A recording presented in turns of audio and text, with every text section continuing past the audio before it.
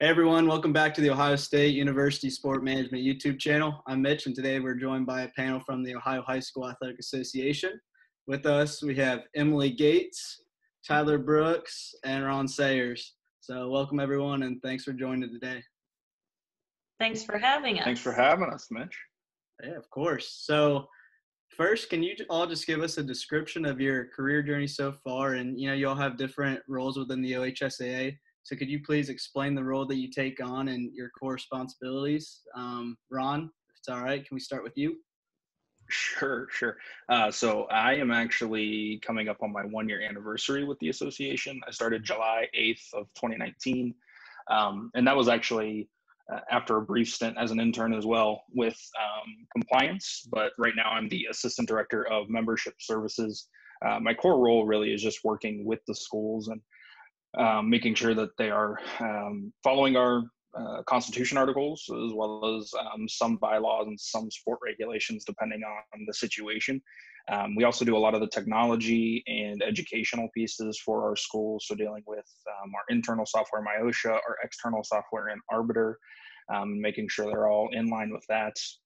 And then on top of that, I've just kind of gathered random responsibilities throughout. So I helped with ice hockey this past year. Um, right now we have a gap in compliance, so I'm going to shift over and, and help them throughout the summer until we uh, kind of figure out where we're going with that. So really, my job description is anything that they throw at me. I think that's kind of the the case for most of us at the association. So it's awesome. Tyler, you want to go next? Sure. Um, I've been with the OHSAA since uh, March of 2014, so just over six years now, which is kind of crazy. Um, prior to my time at the OHSAA, uh, I was an undergrad at Ohio State, uh, sport and leisure uh, studies, uh, and then the um, graduate program, a master's for sport management. Um, some of my past work experiences was really wide ranging in sports from kind of recreational sport, facility management to facility operations at the Schott to interning with the Clippers to community recreation um, with youth sport camps. Um, kind of a little bit of everything under the sun, um, which has been helpful and kind of guided me along my career path to find out what I like and maybe more importantly, what you don't like. Um, so, um, in my duties at the OHSAA, I work primarily in the officiating department. Um, I'll circle back on that, but um, aside from my duties in the officiating department, I am the administrator for the sport of wrestling. Uh, so I oversee all of the regulations and everything through the state tournament with that sport. Uh, within the officiating department, um, unless you're an official or a high school official, um, a lot of these terms probably don't make a lot of sense because they didn't make any sense to me before I started working there. But uh, we have between 14 to 15,000 officials across the state of Ohio in 14 different sports. Um, all of them belong to approximately 310 local officials associations where they receive uh, kind of continuing education each year uh, that they certify or renew as an official. Um, so I'm the point of contact for all those local associations. There's kind of a head official in each sport that we call our directors of officiating development. I'm also the coordinator for them. And then uh, many times schools will hire assigners, uh, which are just individuals, usually current or former officials that actually select officials for the contest, kind of take that burden off the athletic directors and um, apply some expertise in that area. So I also coordinate that group as well. So um, the department has a lot of entities and tentacles, but um, it's uh, it's it's kind of it's kind of a mystery until you're totally immersed in it, which it, it's easy to do. So I've enjoyed my time a lot so far, and it, it does continue to evolve each year. And Ron's finding that out too. Great, Emily. Yeah, so like Mitch said, my name's Emily Gates, and my title at the OHSAA is Director of Sport Management. So I am the sport administrator for baseball, volleyball, and field hockey. So, um, if you're not familiar with the OHSAA, um, kind of a way to think about our organization to simplify it is we're essentially the NCAA of high school sports in the state of Ohio. So, um, as Ron mentioned in compliance and Tyler mentioned in officiating, we have different departments. And so, we also have many regulations, rules, bylaws, etc., um, that our member schools have to follow. So, as a sport administrator, uh, my main role is to work with coaches and athletic directors to educate them on our rules and regulations. Um, we use the National Federation of High School Sports playing rules. So, making sure our coaches and athletic administrators are educated on those as well. Um, and then one of our biggest pieces is also, um, you know, we kind of monitor during the season, applying our rules and regulations in and out of the season. And then one of our biggest roles as sport administrators is conducting the regional and state tournaments. So um, we work with six district athletic boards across the state to conduct the first two rounds of the tournament series which are sectionals and districts, and then our office is responsible for the regional and state level tournaments. So that's working with Tyler in the officiating department, making sure officials are assigned to those games, finding um, sites and tournament managers to host at the regional level, and then working with the state tournament venue to schedule and host all of the games for the sports I administrate.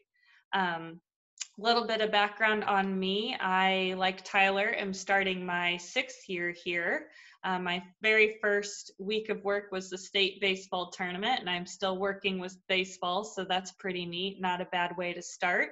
Um, but I'm from Fayetteville, Arkansas, so I went to um, my undergraduate was at University of Arkansas where I studied uh, recreation and sport management and got my minor in business. And then like the others joined the sport management uh, master's program at OSU and then um, kind of like Tyler I did a lot of different things um, a lot of event management working with football and basketball. I worked with sponsorship, I worked with ticketing, I worked in development, that type of thing. And I've always repeated kind of what Tyler said about a lot of it is the benefit of you know the opportunity to do so many internships in the sport management world is finding out what you like and what you don't like um, it's different for everyone but it's just great experience to have and then my second year of my master's program, I was the graduate assistant. Um, I was the first facility manager GA at the RPAC on campus. So um, the OHSAA and rec sports have a pretty big tie just from past employees and um, their work at our state tournaments. So um, both Tyler and I were kind of on the same path, which was pretty neat to be in the same program together and then start at the OHSAA together. That's great. That's awesome. So, Emily, we'll start with you on this one. Um, what do you enjoy most about working with the OHSAA? So um, I'll be pretty honest. I was never really interested in high school sports. Um, when the opportunity came about, I was, you know, kind of like a lot of you guys right now, looking to find a job, that type of thing. So I thought an interview could never hurt, and I tell people all the time I actually felt like I was skipping out of my interview because what I loved about and continue to love about our association is um, what a lot of people don't know is we're actually our own nonprofit entity. A lot of people think that we are kind of like a government um, state run association or there's like a nationwide um, kind of governing body over us, but all of the state associations and all states are their own entities. Um, so, what I love about that is it gives us the ability to be really creative. Um, I noticed just in working with different teams and that type of thing, you know, just because of rules set in place, you're kind of limited to what you can do. And what I loved about the OHSAA is I was bringing all every part of every internship I had into one place. So, you know, I had the event management, I had the sponsorship, the development, working with finance and budgets, that type of thing, and facility management. So, I saw it as an opportunity to really use all of those elements into one place Um, and because we are our own entity, if you will, um, we just have a board of directors and then it's our internal office. So we really do have the opportunity to get creative if we want to make a change to our tournament structure or if there's an event we want to create or a promotional element we want to create we really have that ability um, and you just have such a we have about we have over 800 high schools in the state even more junior highs. So you're really getting a diverse group of people you're working with which is another great opportunity. So that's the thing i love most about working at the ohsaa right and like you said it's not just high school it's the middle school level as well. Mm-hmm. that's awesome. Ron how about you? So for me coming out of high school and college, I wanted to do the athletic director thing and, and work with kids um, at the high school level, at the junior high level. And I, I wanted to stray away from um, college athletics, professional athletics, because it's much more of, of a business. And while we are a business, um, we're different in, in a sense that uh, there's there's our, our main drive i should say isn't isn't money. Our main drive is the experience and enriching interscholastic athletics for those students.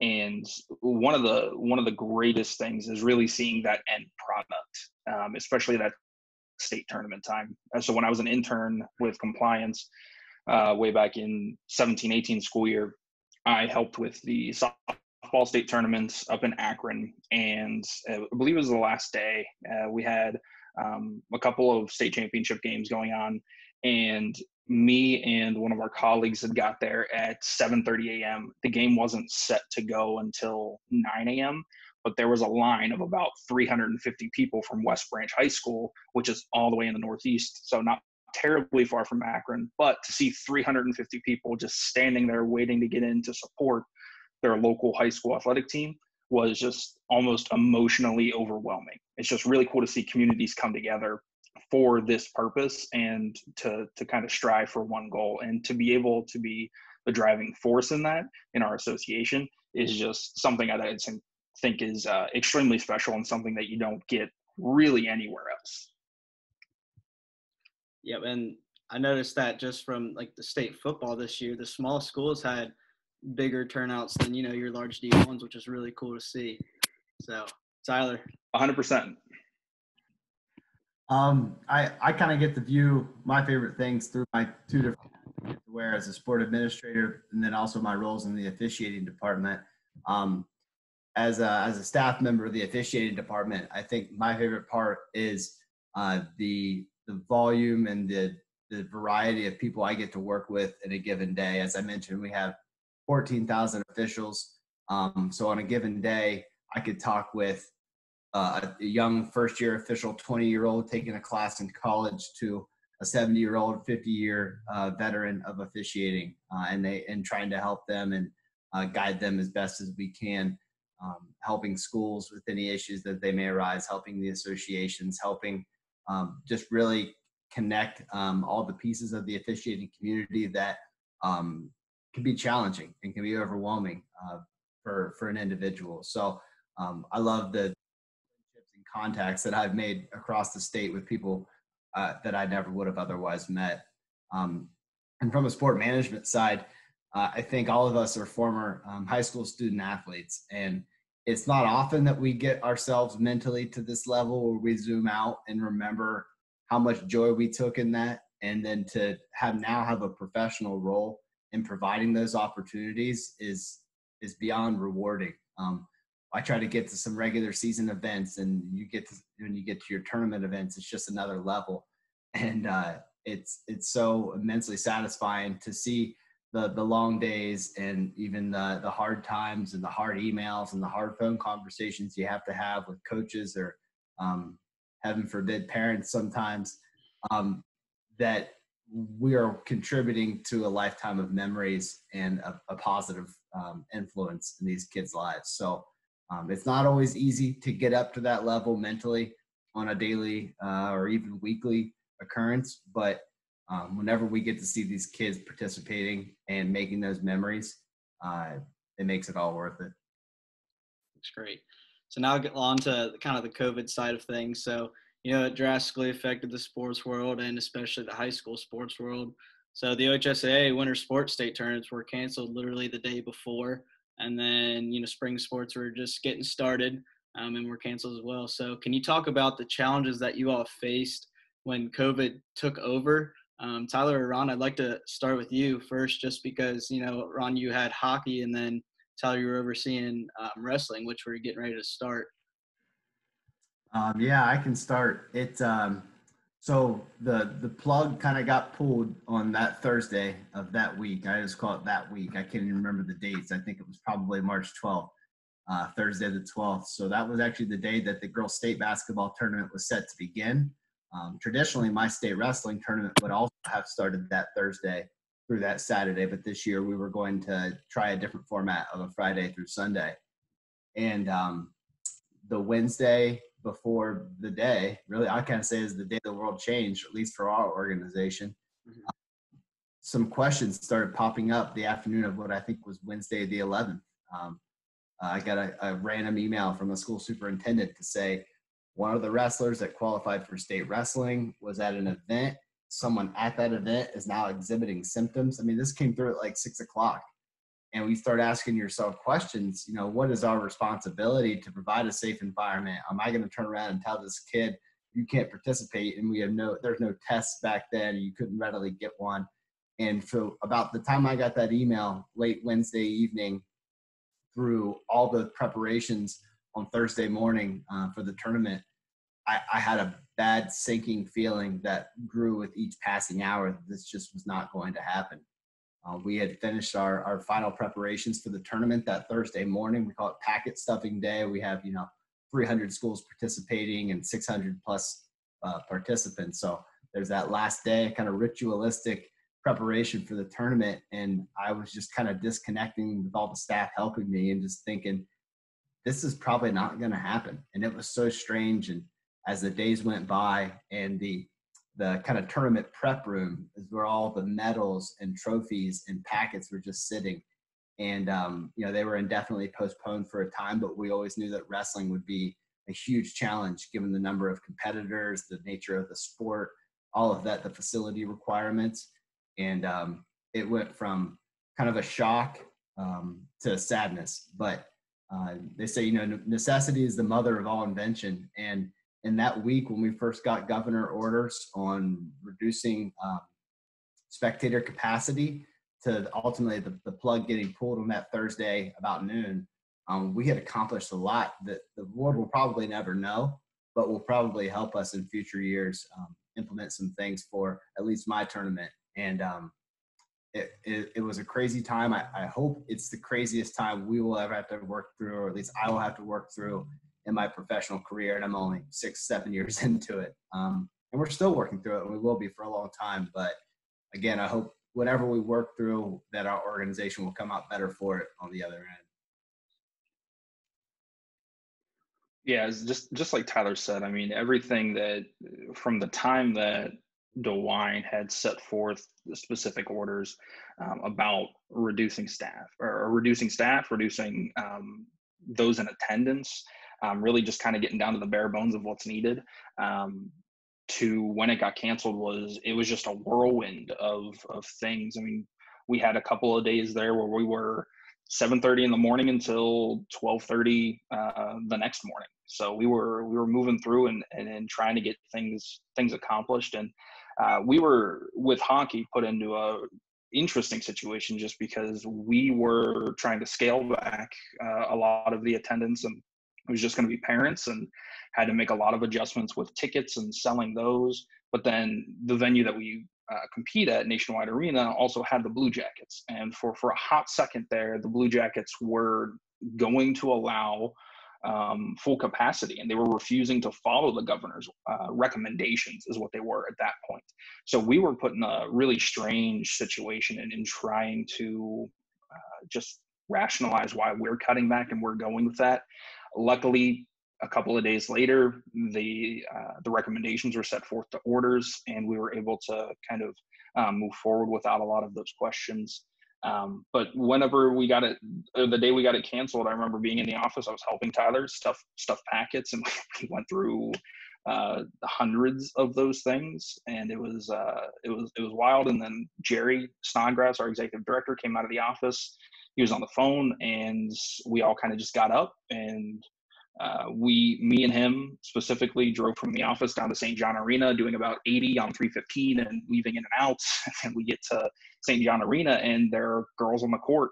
They're warming up. They're getting ready for their uh, state semifinal game. And uh, uh I'm sure a lot of you didn't see St. John Arena. You probably weren't allowed to for obvious reasons. But St. John Arena was set up so beautifully, and it was so so hard to watch those student athletes get pulled off of the court. They were they were literally warming up, but but to see them get pulled off of the court and then be told that it's going to be postponed is uh, it, it was something that I never wanted to go through, but but to to go through it was something that I think we're we're all learning from, and we know um, what we need to do in these situations. And like Tyler said, we're we're going to come out of this uh, a lot stronger. Uh, I think we are a lot stronger already. We're much more efficient already in working uh, from home and, and kind of changing our processes. We've I, I think we've communicated more throughout this uh, what's three month period than we did in uh, in the three months prior to that. There were I,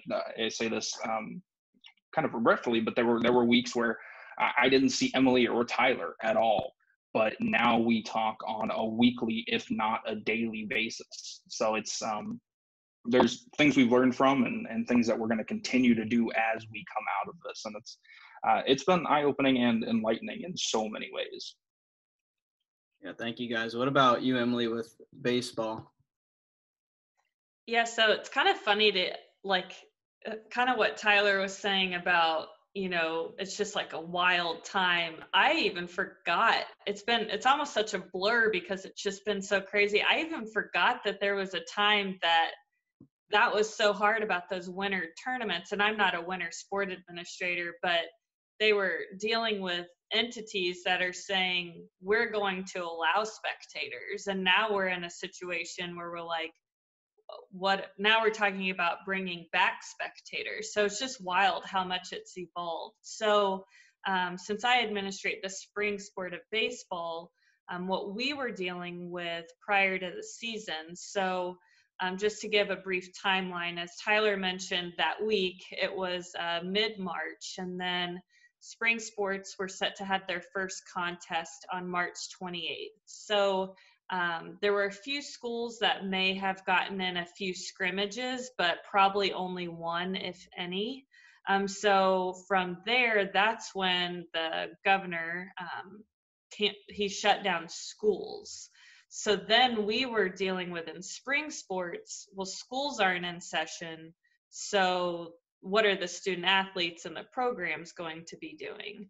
So since schools are shut down, that means that we needed, or, you know, the order was to shut down school facilities as well.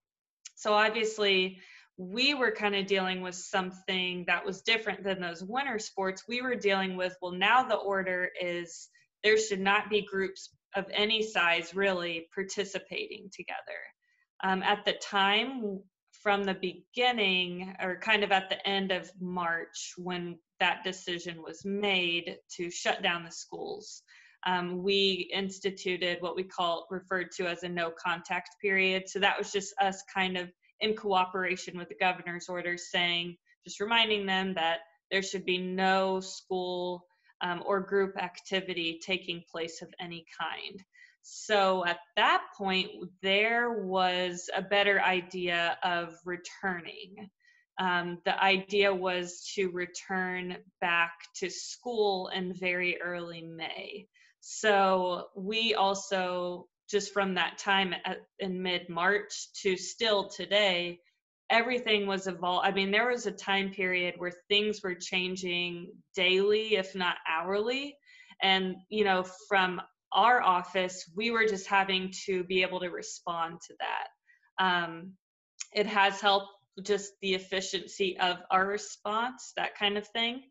Um, so, as spring sport administrators, since we had a thought of return, um, and if you guys remember, at the same time, we were also dealing with the NCAA canceled the entire spring sports season, and we had not done anything of the type. So naturally, um, anytime anything happens at any other level, people's questions come to us. Well, are you going to cancel? So at the time, we were not expecting to cancel, um, but we were very clear um, that if school schools were to be remain closed for the remainder of the school year, then spring sports would be canceled. So at this time, spring sports hadn't been canceled yet. So um, the spring sport administrators had to make abbreviated sports seasons. So um, we were given a date. Um, I think the estimated date was about May. It was in. It was through like May 5th or around that date. So spring sport administrators, we were like, okay, we'll give them an acclimation period of a week to, because especially in the sport of baseball, you don't want to jump right into activity due to arm health, that type of thing. Um, so we gave them a week long acclimation period. So we were saying that contests for spring sports could begin on May 9th. So from there, we had to have internal discussions and discussions with um, our district athletic boards who host the tournaments, as well as our state tournament venues. Of okay, so if we're going to have an abbreviated season, how long are we going to have our school seasons occur. Um, without going into too much detail, just because you know student athletes have so many activities in the summer, um, we didn't want it to go any further than um, the end of June. So spring sport administrators worked with their tournament venues, and really kind of how it worked was working with them um, for example, we host um, our state baseball tournament the last two years at Canal Park in Akron, which is the home of the minor league baseball team for the Rubber Ducks. So they had a schedule of their own. So obviously they only have so much availability. So we all worked with our different venues and kind of went backwards from there. Um, this week, um, two years ago, we extended the baseball season one week and just kind of how the calendar lined up this year. Actually, for 2020, the original state baseball tournament date was as late as it's ever been. Um, so it actually didn't change too much. It only would have been a week later. So it actually would have been this weekend, would have been the abbreviated state baseball tournament date. Um, so we had to just, there were a lot of internal discussions about you know how does that affect the regular season? And then you know with spring sports you're dealing with things like rainouts. Well if these you know if we only allow so many weeks and they have only five games in due to rain you know is is that a good thing to jump right into the tournament or not? So it's there's just all these outside things you have to think about. So all spring sport administrators created abbreviated sport seasons. And then it came down to the governor did cancel in person school for the remainder of the school year. So, in turn, we did end up canceling the spring sports seasons as well. But, um, like I was saying, with that, um, the NCAA canceling their spring sports so early on, that caused a lot of panic um, just because, you know, thinking about getting your last high school athletic seasons and that type of thing.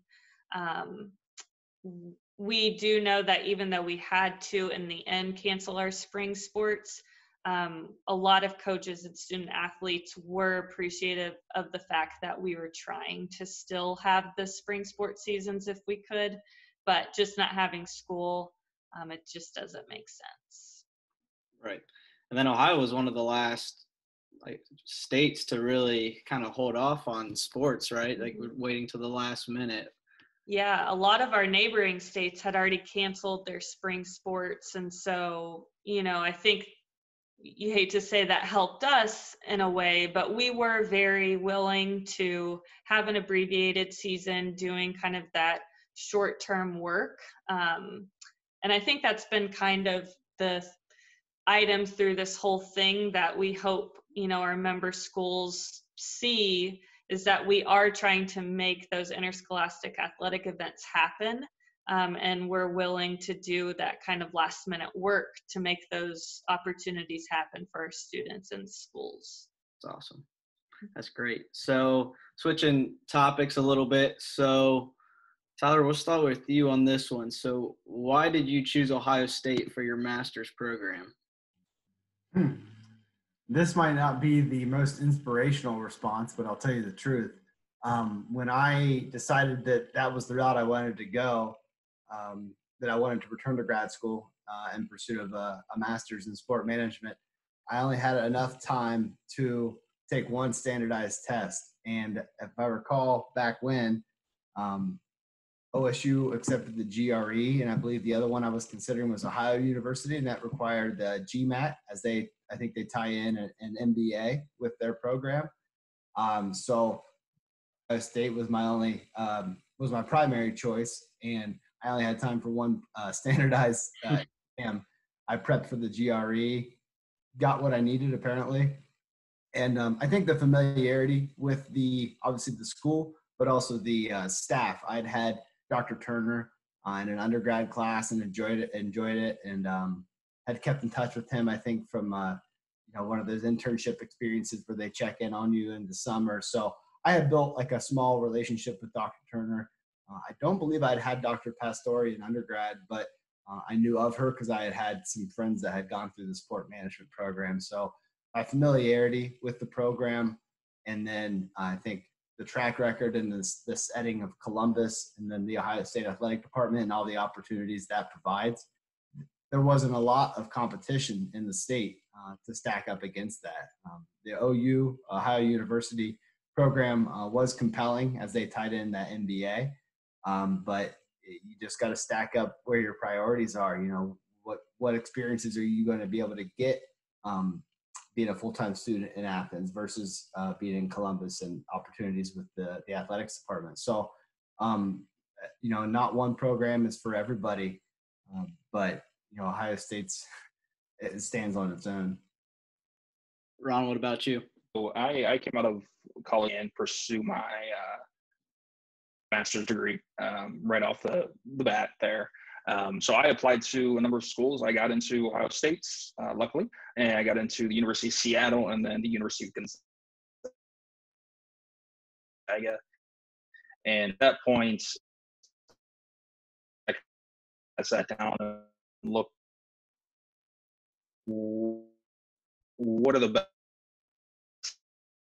options and what opportunities I was able to see Ohio State obviously um, greatest uh, these with or sports that they have. Sports. Really, it. you don't really hear about Gonzaga anything else, frankly. So um, I was able to see that uh, going to Ohio State uh, and being a part of uh, event management as well as um, being able to be down here and, and, and work with the OHSAA uh, as well as an opportunity. So um, that really helped. Uh, and then my brother also went to Ohio Dominican University, so it was nice to get back down here and, and be close to him and make sure that I can uh, attend all of his uh, football games uh, during his his final season. So uh, that was a big part of it. Also, Seattle is 37 hours away by car. Uh, fun fact.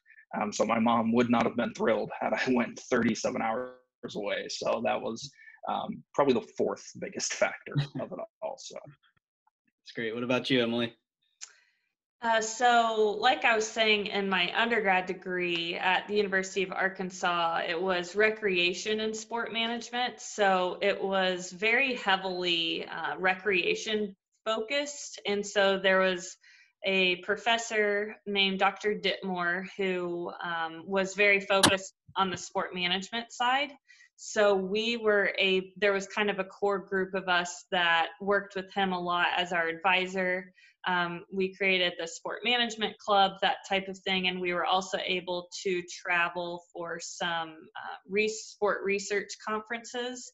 So um, he um, basically, I was kind of getting towards the end of my senior year, and he, I just started talking to him about grad school, and since he was very you know heavily involved in the academic side he actually gave me a list of five schools um, kind of like Tyler, not overly inspirational, but being from Arkansas, I had actually grown up there. Um, I was pretty ready to um, try something new, and I was really willing to move anywhere. So um, he gave me a list of five schools all out of state. And mine was kind of funny. Now that I'm here, um, one of them was OSU, and one as well was OU at Ohio University. And from where I am from, OU is uh, Oklahoma University. And it was funny because being from Arkansas, no one really heard of Ohio University. And so I was like, had no interest in applying there. Um, and so the others were UNC, uh, Chapel Hill, um, South Carolina, and Louisville. So um, actually, Ohio State had the very first application deadline, and then um, in the conferences I had been able to attend, I actually met Dr. Turner um, one year because Dr. Dittmore and Dr. Turner are good friends. So um, it was kind of nice to already have a connection with him. But again, um, they had the first application deadline, and so I ended up only applying to Ohio State just because I got in and I was like, you know, that's a great opportunity. Um, you're in a big city, you have so many sports at hand. Um, so it was a, it was my parents remind me that I just kind of walked in one day and was like, I'm moving to Columbus, Ohio. they were like, okay.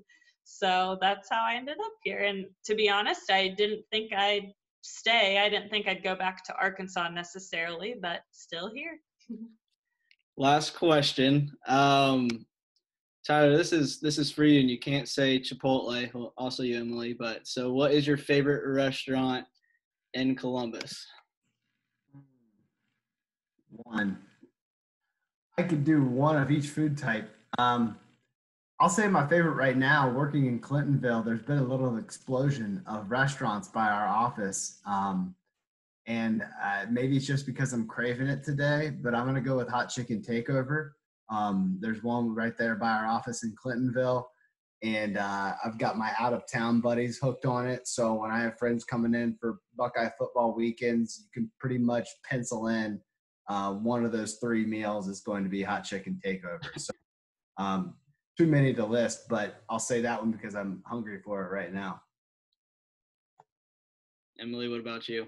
Uh, mine is the Pearl. Um, it's a Cameron Mitchell restaurant, and I suppose it's a little bit of my roots as well because it's kind of like a little fancier Southern food, but they have cornbread, and I love cornbread. Um, they have it's just got great food every time I've been there. I've I've tried something different every time, and I've loved it all. Um, and I'm pretty big on kind of the atmosphere of a restaurant. Um, it's just got great aesthetics, that type of thing, great food. Um, people are always friendly. It's just got, they do it very well there. Um, so that's my favorite. Ron, the question is what is your favorite restaurant in Columbus? I told Tyler Ooh, he couldn't do Chipotle. So Tyler picked yeah, chicken takeover. All right. Um, oof, tough one. Um, I don't go to a lot of restaurants, honest to God. Um, probably Brio in Easton. That's a really good one. Um, but that's a uh, every couple of months one because it's it is pricey. And I'll tell you what, I, I do not make the salary needed to eat there on a regular basis. Um, but they have a really good uh, mushroom ravioli, and that's that's really what I go for every single time. I am not a man of variety. I can tell you that. Actually, one more question, if you guys don't mind. So, with COVID, have you guys picked up any skills, or what has been your hobbies during during this time? I'd say I've I've rekindled uh, some of my favorite hobbies. I'm probably uh, running as regularly as I have maybe in many years, uh, finding a little extra time to play guitar. And then also I've, I've dusted off the old Xbox 360 and I've been catching up on many years of my dynasty on NCAA 2013. So I've, I've built a formidable football powerhouse in Vanderbilt, um, but uh, I'm ready to get back to whatever real life is going to be moving forward. But yeah, kind of just revisited some some old friends of mine. Emily. Um, well, kind of the same with Tyler. Um, definitely picking up running a bit more. Um, the workout, uh, I go to a place called Burn Boot Camp, and they've been doing online videos. So I've been able to continue doing that, but I've been picking up golf, which is obviously, as those who play golf know, it's not the easiest sport to pick up without any lessons or anything like that. Um, but I've been trying to play as much as possible. Um, and this is to make me sound old and boring, but I've been picking up gardening and landscaping and house projects, and it's actually really satisfying. but it makes me feel like an adult now, I suppose.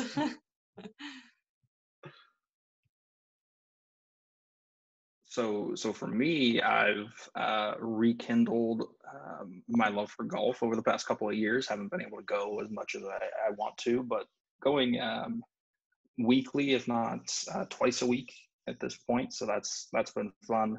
Um, i've also really honed in my uh, warzone strategy for call of duty um, Modern Warfare. So picked up quite a few dubs over the past uh, few months, which is fantastic. Um, I mean, other than that, like Emily, I've actually planted several plants, which is great. Um, they are sitting on my tiny patio, and um, I'm cooking uh, more than more than I usually did when I was when we were back in the office on a regular basis. So uh, that's been nice. Um, but but like Tyler, I I really just cannot wait to get back into like a, a normal work routine because uh, being in this apartment, God, 24 hours a day at some point is is just exhausting, and I cannot stand it. I also miss all my friends, so it's uh, it, it'll be nice to be back. What about you, Mitch? What have I been doing? Yeah. I recently, I guess not recently, I've had a got a little golden retriever puppy for he's he's about five and a half months old. So I've had him for about three months now. And then like Tyler, I've tried to, you know, get back out on the on the sidewalk and run a little bit. So not much. I'm doing my best, applying for some jobs and it's great to see you all again and we really appreciate your time and insight. So thanks everyone else for for tuning in to the Ohio State Sport Management YouTube channel and we'll see you again soon. Thanks for having us, Thanks, man. guys. Thanks, Mitch.